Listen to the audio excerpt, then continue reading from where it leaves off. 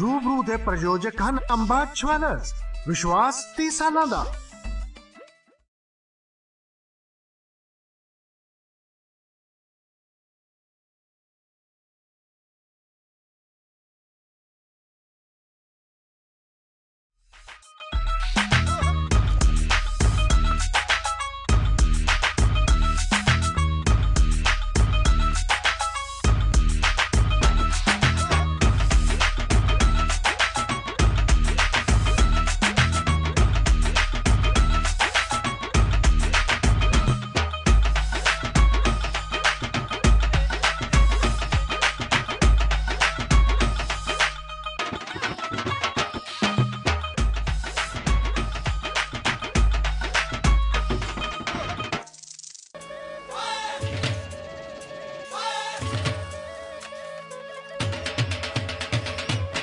ਟਾਵੇਂ ਟਾਵੇਂ ਚਾਹੁੰਦੇ ਅਸੀਂ ਰਹੀਏ ਹੱਸਦੇ।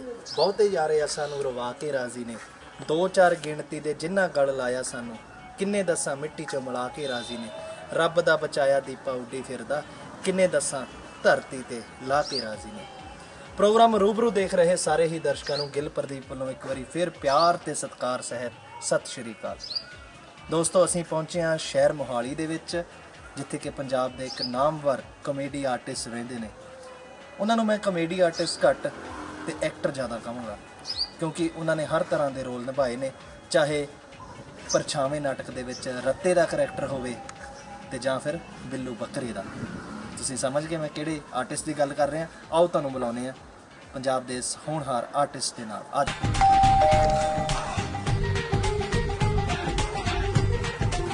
ਜੀ ਸਤਿ ਸ਼੍ਰੀ ਅਕਾਲ ਜੀ ਕੀ ਹਾਲ ਚਾਲ ਹੈ ਹੋਰ ਪਾਪਾ ਹੈ ਪਾਪਾ ਜੀ ਪਾਰਕ ਚ ਪਾਰਕ ਚ ਹਾਂਜੀ ਹਾਂਜੀ ਚਲੋ ਆ ਜਾਓ ਪਾਰਕ ਚ ਚੱਲਦੇ ਹਾਂ। ਸੋ ਦੋਸਤੋ ਭਾਜੀ ਹੁਣੀ ਪਾਰਕ ਦੇ ਵਿੱਚ ਆ।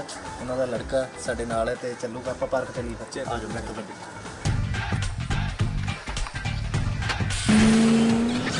पापा जी आपको ही मिलने आया है। ਓਕੇ ਸਤਿ ਸ਼੍ਰੀ ਅਕਾਲ ਜੀ ਸਤਿ ਸ਼੍ਰੀ ਭਾਜੀ ਅਕਾਲ ਸਤਿ ਸ਼੍ਰੀ ਅਕਾਲ ਸਤਿ ਸ਼੍ਰੀ ਅਕਾਲ। ਕੀ ਹਾਲ ਚਾਲ ਹੈ ਜੀ? ਬਹੁਤ ਵਧੀਆ ਬਹੁਤ ਵਧੀਆ। ਅਸੀਂ ਘਰੇ ਗਏ ਸੀ ਤੇ ਬੇਟਾ ਕਹਿੰਦਾ ਵੀ ਪਾਪਾ ਸੈਰ ਕਰ ਰਹੇ ਆ ਤੇ ਮੈਂ ਕਿਹਾ ਚਲੋ ਪਾਰਕ ਹੀ ਚੱਲਦੇ ਆ ਫਿਰ। ਚਲੋ ਥੈਂਕ ਯੂ ਜੀ ਥੈਂਕ ਯੂ ਕਿੱਥੋਂ ਤੁਸੀਂ ਕਿੱਥੋਂ? ਮੈਂ ਜੀ ਭਾਜੀ ਨਿਊਯਾਰਕ ਤੋਂ ਸਪੈਸ਼ਲੀ ਤੁਹਾਨੂੰ ਮਿਲਣ ਵਾਸਤੇ। ਆਇਆ। ਸੋ ਗ੍ਰੇਟ ਸੋ ਗ੍ਰੇਟ ਅੱਛਾ ਗਲੋਬਲ ਪੰਜਾਬ। ਹਾਂਜੀ ਗਲੋਬਲ ਪੰਜਾਬ ਦੇ ਸਾਰੇ ਦਰਸ਼ਕਾਂ ਨੂੰ ਮੈਂ ਹੱਥ ਜੋੜ ਕੇ ਸਤਿ ਸ੍ਰੀ ਅਕਾਲ ਕਹਿੰਦਾ ਹਾਂ ਜੀ।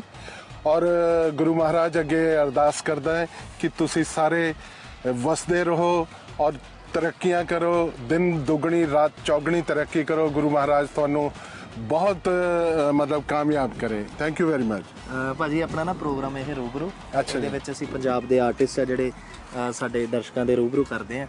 ਤੇ ਅੱਜ ਅਸੀਂ ਤੁਹਾਨੂੰ ਲੱਭਿਆ ਔਰ ਦਰਸ਼ਕਾਂ ਦੀ ਬੜੀ ਡਿਮਾਂਡ ਸੀ ਵੀ ਬੀਐਨ ਸ਼ਰਮਾ ਜੀ ਨੂੰ ਲਿਆਂਦਾ ਜਾਵੇ ਉਹਨਾਂ ਬਾਰੇ ਗੱਲਾਂ ਕੀਤੀਆਂ ਜਾਣ। ਤੇ ਗੱਲਬਾਤ ਨੂੰ ਸ਼ੁਰੂ ਕਰਨ ਤੋਂ ਪਹਿਲਾਂ ਮੈਂ ਤੁਹਾਨੂੰ ਪੁੱਛਣਾ ਚਾਹੁੰਦਾ ਹਾਂ। ਥੋੜਾ ਜਿਹਾ ਆਪਣੇ ਪਿੰਡ ਬਾਰੇ ਦੱਸੋ ਆਪਣੀ ਪੜ੍ਹਾਈ ਬਾਰੇ ਦੱਸੋ। ਦੇਖੋ ਪਿੰਡ ਤਾਂ ਮੇਰਾ ਇੱਥੇ ਰੋਪੜ ਦੇ ਕੋਲ ਹੈ ਜੀ ਪਰਥਗੜ ਇੱਕ ਜਗ੍ਹਾ ਹੈ ਜੀ ਉਹਦੇ ਕੋਲ ਇੱਕ ਪਿੰਡ ਹੈ ਭੋਗਪੁਰ ਭਾਂਗਲਾ। ਜੀ। ਉੱਥੇ ਦਾ ਮੈਂ ਮਤਲਬ ਮਤਲਬ ਜਿਹਨੂੰ ਕਹਿੰਦੇ ਆ ਜੱਦੀ ਪਿੰਡ ਉਹ ਹੈ ਸਾਡਾ। ਅਦਰਵਾਈਜ਼ ਮੇਰੇ ਫਾਦਰ ਸਾਹਿਬ ਦਿੱਲੀ ਦੇ ਵਿੱਚ ਜੌਬ ਕਰਦੇ ਸੀਗੇ। ਜੀ। Director general supply and disposal ਦੇ ਵਿੱਚ। ਮੈਂ ਉੱਥੇ ਹੀ ਮਤਲਬ ਆਪਣੀ ਜਿਹੜੀ ਬੇਸਿਕ ਐਜੂਕੇਸ਼ਨ ਹੈ ਉਹ ਉੱਥੋਂ ਲਈ ਹੈ। ਜੀ। ਪਰ ਮੈਨੂੰ ਲੱਗਦਾ ਕਿ ਉਹ ਜਿਹੜਾ ਨਿੱਕੇ ਹੁੰਦੇ ਤੋਂ ਮੈਨੂੰ ਮੇਰੇ ਅੰਦਰ ਕੋਈ ਕਲਾਕਾਰ ਸੀਗਾ। ਸੋ ਕਲਾਕਾਰੀ ਦੀ ਸ਼ੁਰੂਆਤ ਹੈ ਜਿਹੜੀ ਬਚਪਨ ਤੋਂ ਬਚਪਨ ਤੋਂ ਹੈ। ਪਰ ਪ੍ਰੋਫੈਸ਼ਨਲੀ ਇਸ ਫੀਲਡ 'ਚ ਕਿਵੇਂ ਆਈ? ਪ੍ਰੋਫੈਸ਼ਨਲੀ ਜੀ ਮੈਂ ਫਿਰ ਕਿਸੇ ਦਿਨ ਮੇਰੇ ਫਾਦਰ ਸਾਹਿਬ ਨੂੰ ਇਹ ਮੇਰਾ ਕਿੱਤਾ ਪਸੰਦ ਨਹੀਂ ਸੀਗਾ। ਜੀ। ਉਹ ਚਾਹੁੰਦੇ ਸੀਗੇ ਕਿ ਮੈਂ ਇੰਜੀਨੀਅਰਿੰਗ ਵਗੈਰਾ ਦੀ ਪੜ੍ਹਾਈ ਕਰਾਂ। ਤੇ ਮੈਂ ਜਦੋਂ 8ਵੀਂ ਚ ਪੜ੍ਹਦਾ ਸੀਗਾ ਉਦੋਂ ਮੈਨੂੰ 골ਡ ਮੈਡਲ ਮਿਲਿਆ ਐਕਟਿੰਗ ਦੇ ਵਿੱਚ ਉੱਥੇ ਦਿੱਲੀ ਜੀ ਤੇ ਮੇਰੇ ਫਾਦਰ ਨੇ ਉਸ ਦਿਨ ਵੀ ਮੈਨੂੰ ਬੜਾ ਗੁੱਸਾ ਹੋ ਕੇ ਅਹ, ਉਹਨਾਂ ਨੇ ਕਿਹਾ ਕਿ ਵੀ ਪੜ੍ਹਾਈ ਲਿਖਾਈ ਚ ਤਾਂ ਉਹੀ 100 ਚੋਂ 33 ਨੰਬਰ ਆਉਂਦੇ ਆ ਤੇਰੇ ਮੈਂ ਤੇ ਇਹ ਜਿਹੜੇ ਨਾਚ ਗਾਣੇ ਆ ਇਹਨਾਂ ਵਿੱਚ ਤੂੰ ਬਹੁਤ First ਆਉਣਾ, ਤਰੱਕੀਆਂ first ਕਰ ਰਿਹਾ ਆਉਣਾ, first। ਹਾਂ।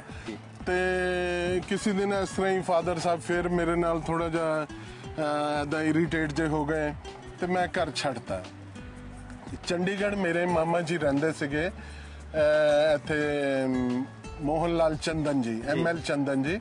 ਜੀ। ਤੇ ਉਹ ਸੀਐਸਆਈਓ ਦੇ ਵਿੱਚ ਚੀਫ ਟੈਕਨੀਕਲ ਐਡਵਾਈਜ਼ਰ ਦੇ ਪੀਏ ਸੀਗੇ। ਜੀ। ਮੈਂ ਉਹਨਾਂ ਕੋਲ ਆ ਗਿਆ ਘਰ ਛੱਡ ਕੇ ਤੇ ਉਹਨਾਂ ਨੂੰ ਕਿਹਾ ਕਿ ਮੈਂ ਹੁਣ ਮੁੜ ਕੇ ਜਾਣਾ ਨਹੀਂ ਹੈ। ਉਹ ਸਾਰੀ ਗੱਲ ਮੈਂ ਆਪਣੀ ਦੱਸ ਦਿੱਤੀ। ਮੇਰੇ ਮਾਮਾ ਜੀ ਕਰਕੇ ਹੀ ਮੈਨੂੰ ਪੁਲਿਸ ਦੇ ਵਿੱਚ ਜੌਬ ਮਿਲ ਗਈ। ਤੋ ਤੁਸੀਂ ਪੰਜਾਬ ਪੁਲਿਸ ਦੇ? ਪੰਜਾਬ ਪੁਲਿਸ ਦੇ ਵਿੱਚ ਮੈਂ ਜੌਬ ਕੀਤੀ ਹੈ। ਜੀ ਜੀ ਜੀ। ਤੇ ਮੈਂ ਭਰਤੀ ਤਾਂ ਹੋਇਆ ਜੀ ਮੈਂ ਉੱਥੇ ਵਾਇਰਲੈਸ ਆਪਰੇਟਰ ਕਾਂਸਟੇਬਲ ਜੀ।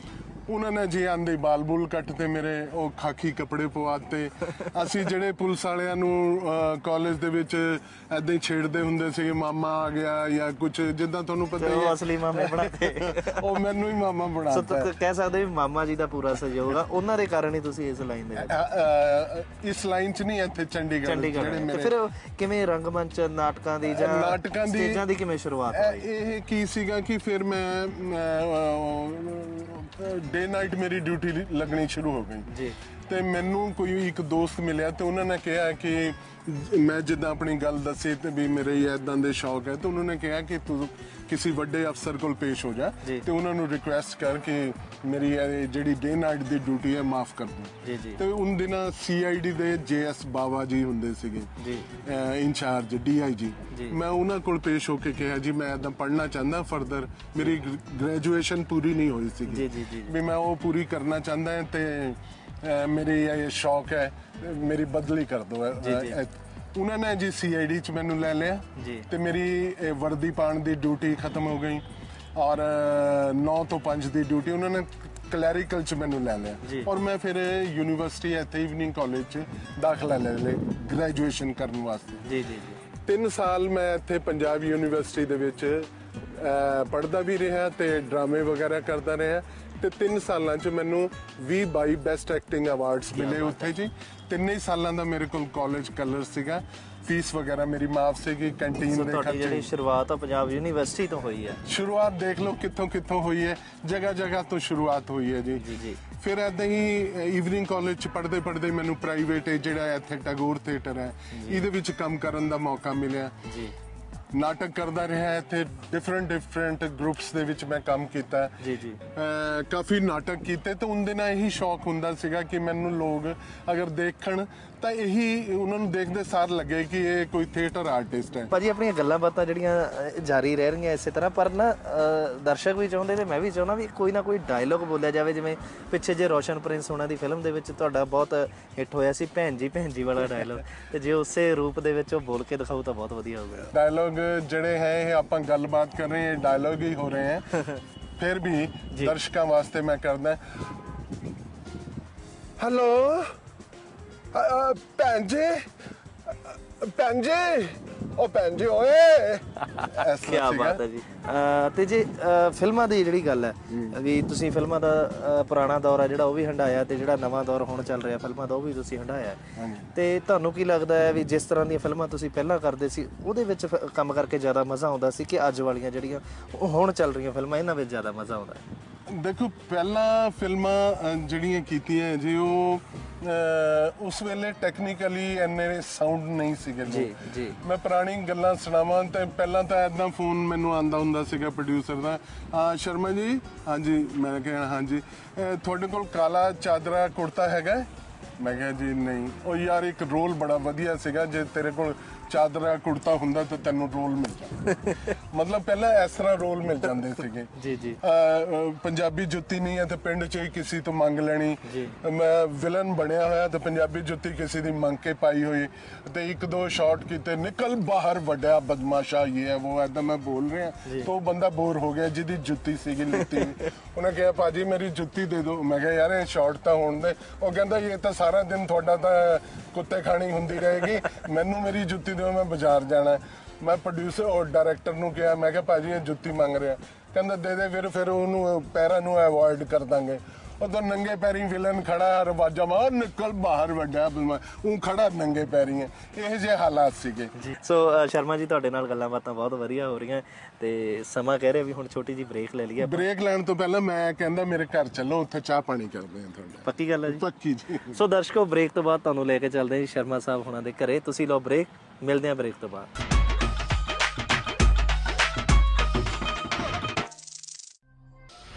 रूबरू ਦੇ ਪ੍ਰਯੋਜਕ ਹਨ ਅੰਬਾਜ ਜਵੈਲਰਸ ਵਿਸ਼ਵਾਸ 30 ਸਾਲਾਂ ਦਾ